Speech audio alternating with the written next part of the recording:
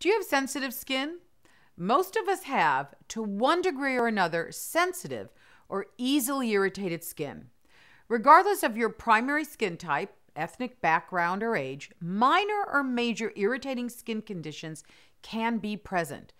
The skin can burn, chafe, or crack, and you may have patchy areas of dry, flaky skin related to weather conditions, hormonal changes, the skincare products you use, or sun exposure. Skin can also break out in small bumps that look like a diaper rash. Skin can itch, swell, blotch, redden, and develop allergic reactions to cosmetics, pets, dust, or pollen. If that isn't enough to make you itch just a little more, then think about the number of cosmetics most women use daily.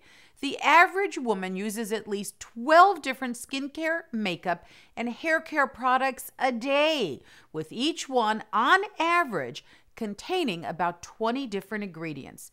That means your skin can be exposed to about 200 different cosmetic ingredients on any given day.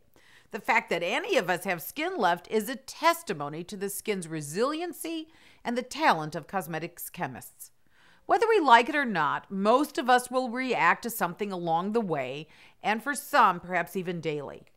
Your skin is the protective armor that keeps the elements and other invaders from entering the body but we protect most of our anatomy with clothing. Our faces are left painfully exposed to everything.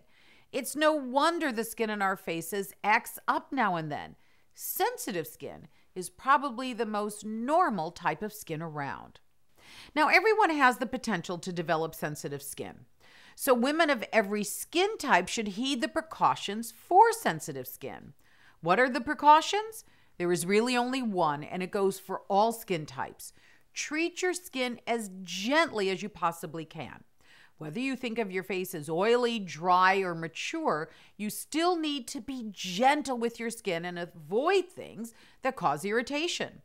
The operative word is gentle. Preventing skin irritation, regardless of your skin type, is the course of action I always recommend. Now, of course, some skin types can and should try to tolerate certain potentially irritating ingredients because of their overwhelming potential to help skin look better.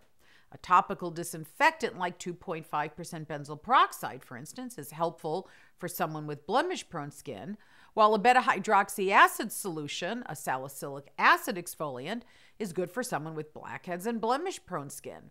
Likewise, an alpha hydroxy acid product used to exfoliate or Retin-A or Renova, prescription medications to improve cell formation are beneficial for someone with sun damaged skin.